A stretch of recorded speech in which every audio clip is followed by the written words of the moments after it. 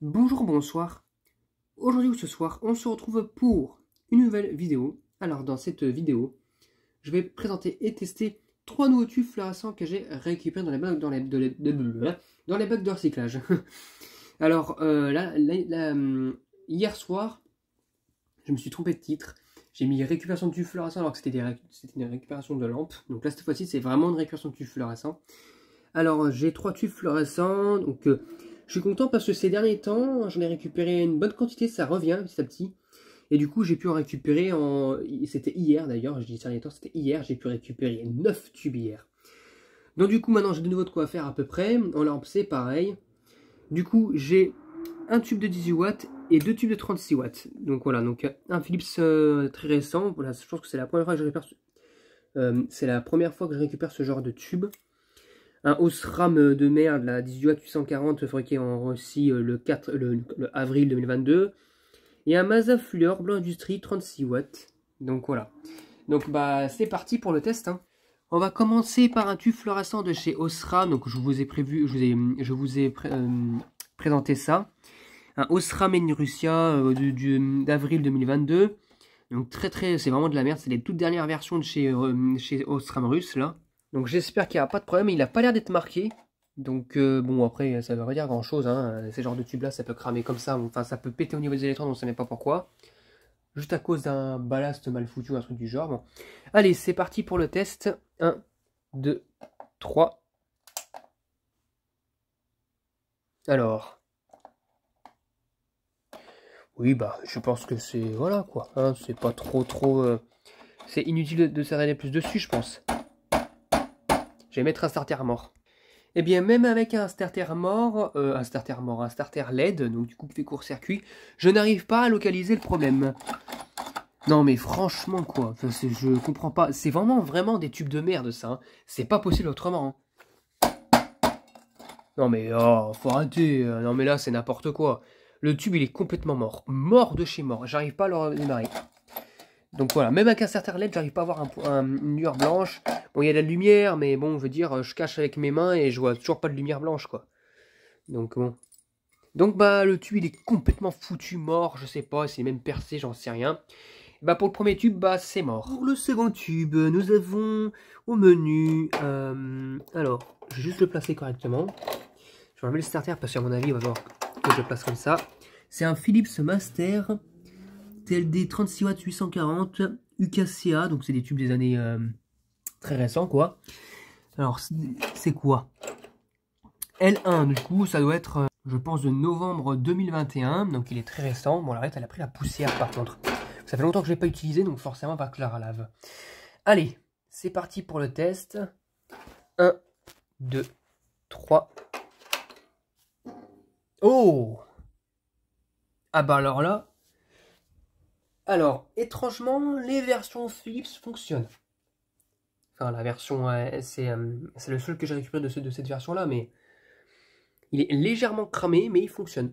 Il n'a même pas de, de, problème de, mercure. Il a son vol de mercure parce qu'il n'est pas 999, mais par contre, il y a un point là, hein. un point de mercure, un point de où il n'y a pas de poudre, je veux dire. Mais il fonctionne. Rien à dire pour l'instant. Voilà. Euh, les électrodes n'ont pas l'air d'être euh, bien, allumés, donc ça c'est cool aussi. Donc je n'avais pas de cette, version en 840, ni en 827 d'ailleurs, c'est la première version que je récupère, donc après c'est pas une fierté, hein. Ces versions-là, euh, elles sont récentes et voilà quoi, c'est exclusivement ensemble maintenant, mais bon. Bon, j'ai remarqué que ce, ce, genre de tube en fait, c'est... comment dire ils ont le voile de mercure qui reste au bout d'un moment en fait. C'est vraiment... Euh, c'est bizarre ces versions là-bas. Je vais vous montrer ça aussi. Comme sur les versions en 10 watts, pareil. Vous allez voir, regardez. Allez, démarre Oh là Allez, on voit, euh, on le voit légèrement qu'il y a une... En fait, il y a la vapeur de mercure, qui, enfin le, le voile de mercure qui disparaît pas de ce côté-là. Comme sur les vieux, les, vieux tubes. On le voit là. Et du coup, ça fait la même chose sur celui-là. Il y a tout un voile ici qui apparaît voilà quoi. Mais sinon, il fonctionne. Voilà, nickel, encore une fois, pas, de problème. Il fonctionne nickel. Il n'est pas neuf, mais il fonctionne nickel. Donc voilà, magnifique. Donc au moins Philips, bon je pense qu'il a peut-être pas fonctionné sur, à mon avis il n'a pas, il pas été fonctionné sur balance électronique parce qu'il il crame, il crame comme, comme sur un balance hermétique du coup. Du coup ça devrait être bon. Donc voilà, donc bah super. Ça fait au moins déjà un tube de, fluorescent de fonctionnel. Et on va passer au dernier tube. Et mes derniers nous avons un tube fluorescent Mazda Fluor, blanc industrie, TF 36 watts W, euh, W. BI du coup c'est du blanc industrie, 33 blabla, fabriqué en France.